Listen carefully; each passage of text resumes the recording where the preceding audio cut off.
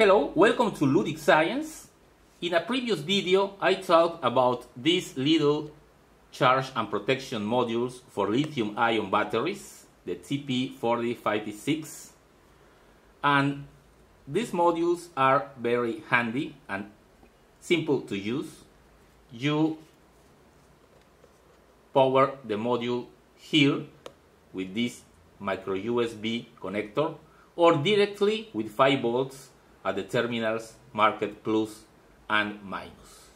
And to the other side, you connect your battery at the terminals B plus and B minus, and the output for your load is at the end terminals out plus and out minus.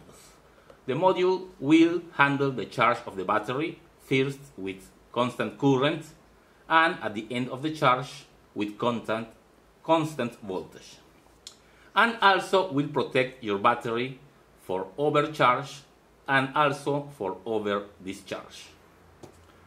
Well, one uh, feature of this module is that the charge current is 1 amp.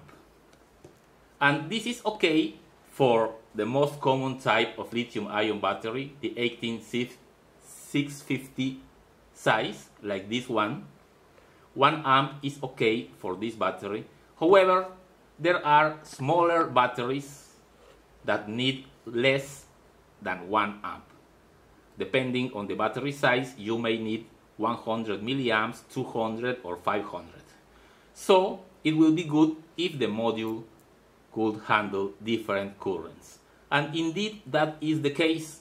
If you look at the data sheet of the chip, you can see that there is a resistor that uh, manages the charge current. Changing the value of this resistor will change the output current. Now, this resistor is located here. It is marked R3.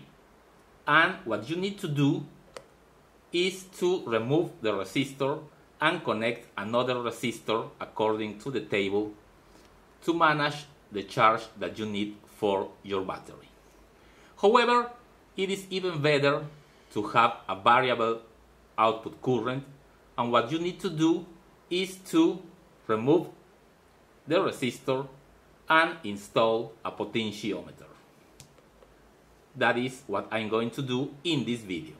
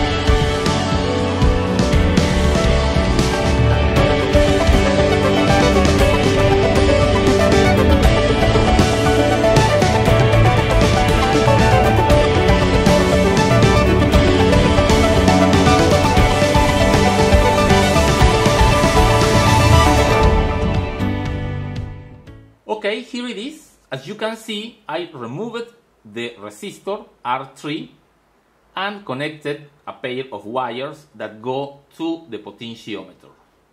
It is a 10K potentiometer because this is the value that gives the 1 amp current that is default for the module. I also soldered a resistor in series because when we move the potentiometer to the minimum to 0 ohms, remember that from the table, the less resistance, the more current that the module will produce. At 0 ohms, the module will try to output a very large current and the chip will burn. So we have this resistor, which is 680 ohms, for the case when we move the potentiometer to the zero value we still have some resistance and avoid burning the module. So I will now connect charger here and the multimeter to monitor the charging current. I will now connect the power to the module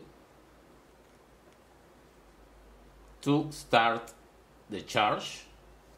Okay, almost 0 amps.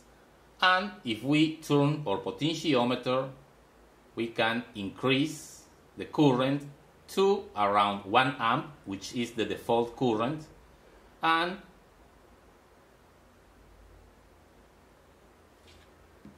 we can set the current that we want. Here, for example, is 0.09 amps or 90 milliamps. We can set to another value 200 milliamps, for example, depending on the size of your battery. Normally, every battery comes with an indication of the charge current that it needs. So you can vary your current from around 100 milliamps to the full 1 amp that is normal for the module.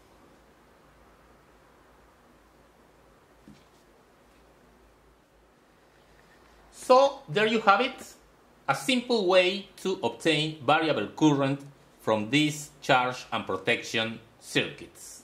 Hope you liked the video. If that is the case, please visit my Patreon page. Thanks for coming to my channel and see you in the next video.